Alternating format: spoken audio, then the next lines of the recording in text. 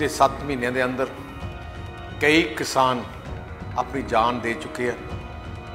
ਅੱਜ ਮੈਂ ਦੇਖ ਰਿਹਾ ਸੀ, ਤਕਰੀਬਨ 550 ਤੋਂ ਵੱਧ ਕਿਸਾਨਾਂ ਨੇ ਆਪਣੀ ਜਾਨ ਉਹਨਾਂ ਨੇ ਕੁਰਬਾਨ ਕਰ ਦਿੱਤੀ ਹੈ।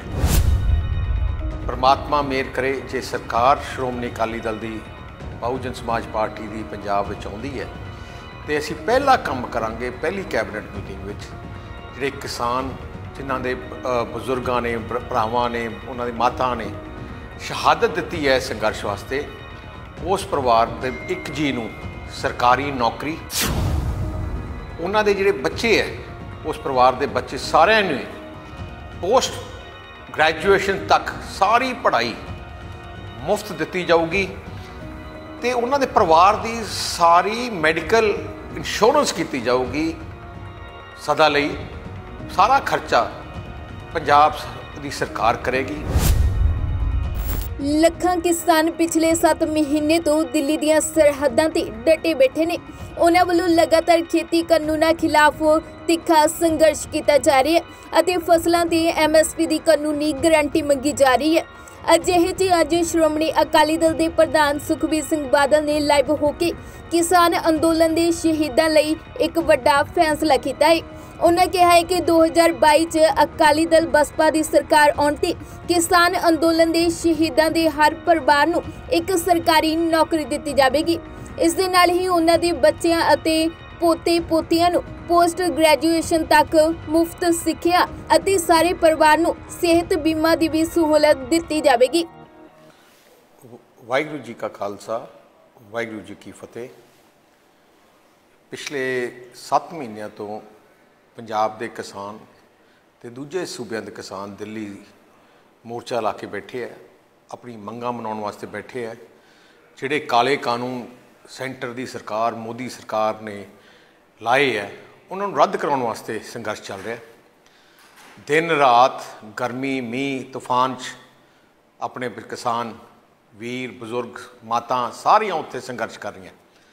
ਪਿਛਲੇ 7 ਮਹੀਨਿਆਂ ਦੇ ਅੰਦਰ ਕਈ ਕਿਸਾਨ ਆਪਣੀ ਜਾਨ ਦੇ ਚੁੱਕੇ ਆ। ਅੱਜ ਮੈਂ ਦੇਖ ਰਿਹਾ ਸੀ, ਤਕਰੀਬਨ 550 ਤੋਂ ਵੱਧ ਕਿਸਾਨਾਂ ਨੇ ਆਪਣੀ ਜਾਨ ਉਹਨਾਂ ਨੇ ਕੁਰਬਾਨ ਕਰ ਦਿੱਤੀ ਹੈ। ਇਸ ਕਰਕੇ ਸ਼੍ਰੋਮਣੀ ਅਕਾਲੀ ਦਲ, ਜੋ ਪੰਥੀ ਨੁਮਾਇੰਦਾ ਜਥੇਬੰਦੀ ਹੈ, ਕਿਸਾਨਾਂ ਦੀ ਜਥੇਬੰਦੀ ਹੈ 100 ਸਾਲ ਪੁਰਾਣੀ ਪੰਜਾਬੀਆਂ ਦੀ ਜਥੇਬੰਦੀ ਹੈ ਸ਼੍ਰੋਮਣੀ ਅਕਾਲੀ ਦਲ ਦੀ ਸ- ਦਾ ਵਾਅਦਾ ਹੈ ਕਿ ਪ੍ਰਮਾਤਮਾ ਮੇਰ ਕਰੇ ਜੇ ਸਰਕਾਰ ਸ਼੍ਰੋਮਣੀ ਅਕਾਲੀ ਦਲ ਦੀ ਬਹੁਜਨ ਸਮਾਜ ਪਾਰਟੀ ਦੀ ਪੰਜਾਬ ਵਿੱਚ ਆਉਂਦੀ ਹੈ।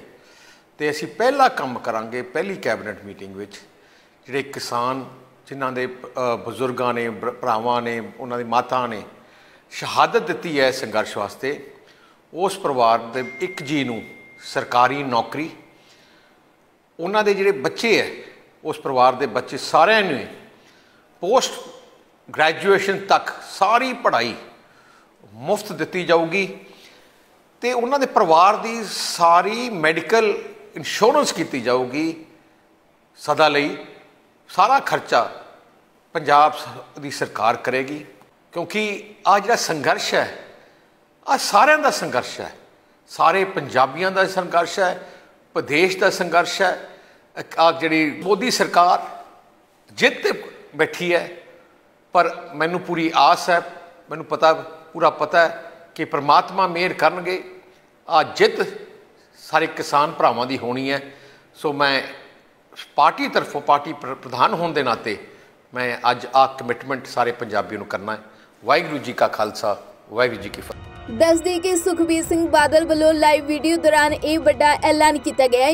ਇਸ ਦੇ ਨਾਲ ਹੀ ਸੁਖਬੀਰ ਬਾਦਲ ਨੇ ਕਿਹਾ ਹੈ ਕਿ ਉਹਨਾਂ ਦੀ ਸਰਕਾਰ ਬਣਨ ਤੇ ਪਹਿਲੀ ਕੈਬਨਿਟ ਮੀਟਿੰਗ 'ਚ ਇਹ ਕੰਮ ਕੀਤਾ ਜਾਵੇਗਾ। ਕਿ ਕਿਸਾਨ ਅੰਦੋਲਨ ਦੇ ਸ਼ਹੀਦਾਂ ਦੇ ਪਰਿਵਾਰਾਂ ਨੂੰ ਇੱਕ ਸਰਕਾਰੀ ਨੌਕਰੀ ਦਿੱਤੀ ਜਾਵੇ। ਦੱਸਦੀ ਕਿ ਹੁਣ ਤੱਕ ਕਿਸਾਨ ਅੰਦੋਲਨ 'ਚ ਕਰੀਬ 550 ਕਿਸਾਨ ਸ਼ਹੀਦ ਹੋ ਚੁੱਕੇ ਨੇ। ਪਰ ਇਸ ਦੇ ਬਾਵਜੂਦ ਵੀ ਕਿਸਾਨਾਂ ਦੇ ਹੌਸਲੇ ਬੁਲੰਦ ਨਜ਼ਰ ਆ ਰਹੇ ਨੇ ਤੇ ਕਿਸਾਨਾਂ ਦਾ ਅੰਦੋਲਨ ਦਿੱਲੀ ਦੀਆਂ ਸਰਹੱਦਾਂ ਤੇ ਲਗਾਤਾਰ ਜਾਰੀ ਹੈ। ਬਿਊਰੋ ਰਿਪੋਰਟ, ਪੰਜਾਬੀ ਲੋਕ ਚੈਨਲ।